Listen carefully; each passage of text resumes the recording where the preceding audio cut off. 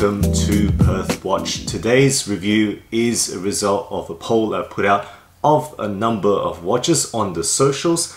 YouTube had the most votes and by far and away the San Martin 62 Mas won the poll and had most votes overall. So what I have to feature is indeed this particular watch. It comes in this package, this kind of nice I guess, impact package here. San Martin is a Chinese-based company. They've been pioneering uh, watch production in China, as I understand it, mainly homage pieces, but really they've come to be respected in terms of quality of the production. So uh, what I have is a watch that has been kindly provided via WR Watches, which is a Chinese-based retail company and among their catalog is indeed San Martin. So I asked them for this one to start off the collaboration. So shout out to them for providing this uh, particular piece today. So guys, without further ado, let's flip the camera around and take a closer look at this particular piece.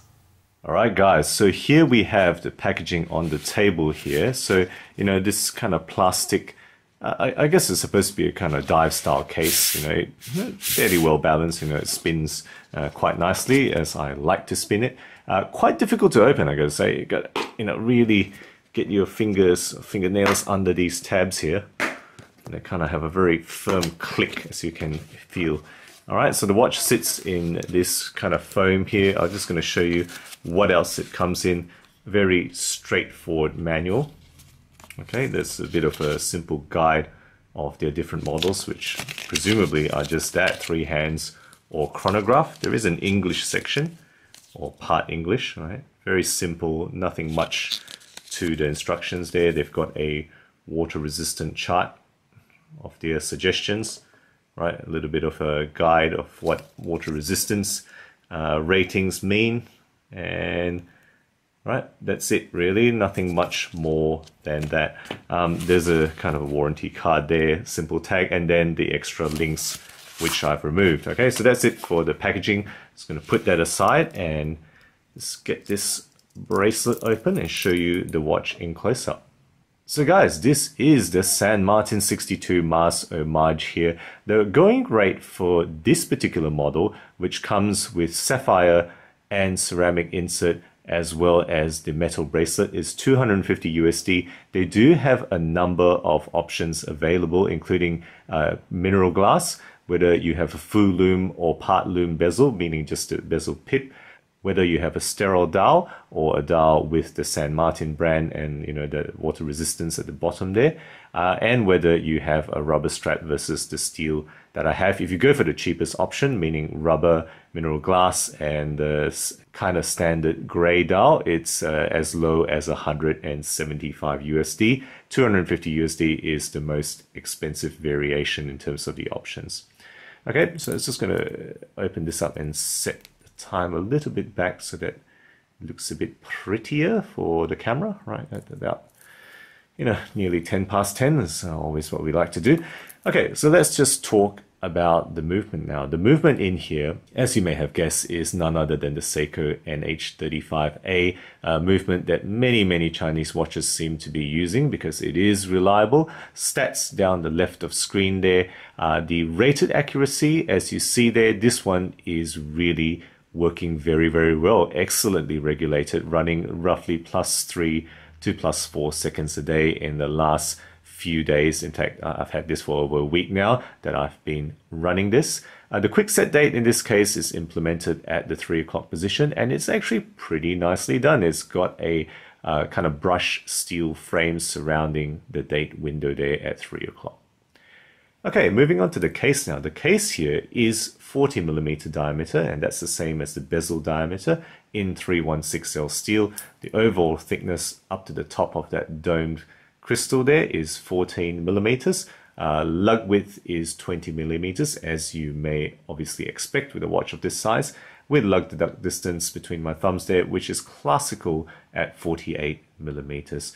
Overall watch weight with the three links that I removed is 161 grams, which means that it is actually pretty substantial. It does feel, you know, weighty on the wrist, but not too heavy.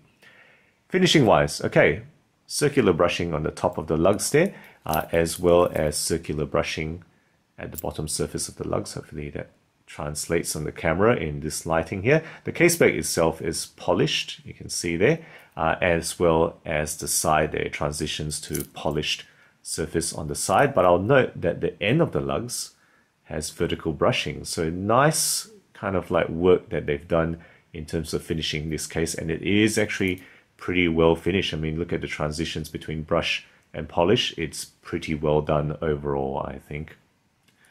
Right, the case back, as you can see, has a rather nice shark there, and that's kind of, I understand where the name Sharky comes from, the name, uh, the nickname Sharky for San Martin, right? Just let you show that nice relief shark there. So screw down case back with screw down sign crown. Uh, again, the shark motif on the crown there uh, gives us the 200 meter water resistance rating that this watch is given.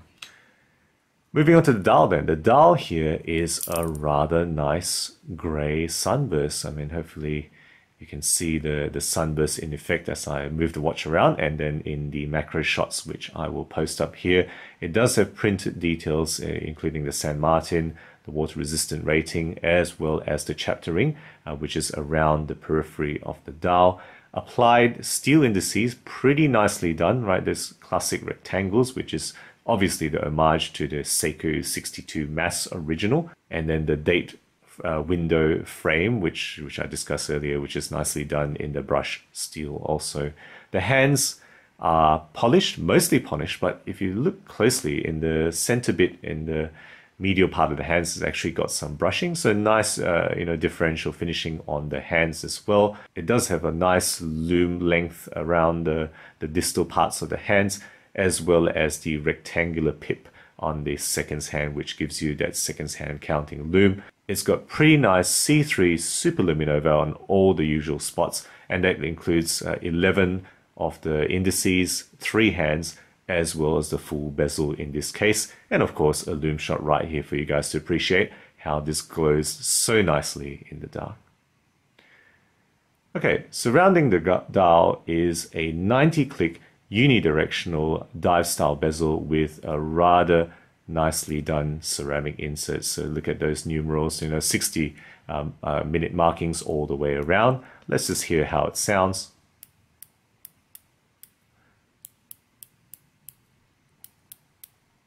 So there's 15 clicks. It is actually a 90 click bezel, not 120 click, which is probably what I generally prefer, or failing that, I guess I would accept 60 click, but they've gone for a 120 click on this particular watch. Okay, on top of the dial, uh, it is protected by a domed sapphire crystal, which is also very nicely boxed at the edges, and that gives you a very nice characterful distortion of the dial. They're really nice. I really enjoy this particular crystal that they have produced, and I'm sure a lot of people do like what they have done here. Right, that's really what they're given. Moving on to the bracelet then. The bracelet then uh, looks like a three-piece per link bracelet, right? It is uh, brushed finishing, but it's got chamfered edges there which have polish. Nicely done, really. I, I gotta say, the work that they've put in here, they have some differential work on the bracelet. And I say it looks like three-piece per link, but if you look at how it's constructed, it's actually more like two piece per link with a H piece uh, comprising the two side bits there. Uh, push pin adjustment, uh, but it's actually pin and collar, which is pleasing because that's far more secure than a simple uh, split pin and overall uh, the most secure way. I think most people would think it's more secure than a screw link, but you know, I, I think a step up in luxury would be screw links. What they've given is push pin and collar for the bracelet adjustment. The clasps, again, you know, they've really done quite well. A milled housing there with six point micro adjustment, which I really enjoy. You know, you can kind of uh, adjust that for many other wrist sizes before having to put in a link or take out the link. Right, push button release with fairly solid deployment arms there. Okay, that's the entire description of the watch. So let's just snap it on the wrist for the wrist shot now for you guys. And there we have it. The 62 Mas homage from San Martin on my 17 centimeter wrist, 48 millimeter, you know, lug to lug distance, remember, and 40 millimeter uh, sizing with 14 millimeter height there. And that's how the bracelet sits on my wrist. Okay guys, so that's the showcase of the watch. Now what have I really liked about this watch now? So much to say about it in terms of the positive. What a fantastic package, I gotta say. Seiko movement, quality case, right? They've really done well on the case. Sapphire with that nice dome and box, uh, ceramic bezel insert, 200 meter water resistance, and a pretty nice bracelet for the price. It's really quite good. I'm really quite impressed with this. Uh, well done sunburst style. I really think they've done quite good on that, as well as the indices and hands are pretty well done, and the bezel on top of that. Plus, you know, that crystal, you know, so much love for that crystal. I gotta say, really enjoy uh, the way that it adds to this watch. What are the negatives? I really have very little to say. I think, uh, if anything, you might say that the two other color options they offer, which is blue and green, might tempt you to buy three of this rather than settle on just one, and that would burn a hole, you know, a small hole in the pocket. That's almost nitpicking to complain here. You know, I think one thing I would say is that they took away the drilled lugs. Previously, they did have drilled lugs, uh, but they removed that on this particular version. So, you know, I reckon that's a small step back in my opinion, but I really do feel picking on this watch is really trying to find very little things to say in terms of the negative side, so much on the positive. So guys, there you go, my thoughts on the San Martin 62 Mas. Let's flip the camera around now for the wrap up. So there you go guys, my review of the very good San Martin 62 Mas Homage. Please let me know your thoughts on this particular brand or this particular piece if indeed you own the 62 Mas Homage. I think there is a lot to like about it and I, I reckon for the price this is one of the best watches I have ever reviewed or at least one of the best I've reviewed for a very long time. It's got so much good things about it. So guys, if you like my reviews, do consider subscribing. I put out new content every week, always aiming to be objective and unbiased about all things horology. Thank you again for sticking with me, and as always, I'll catch you guys again next time.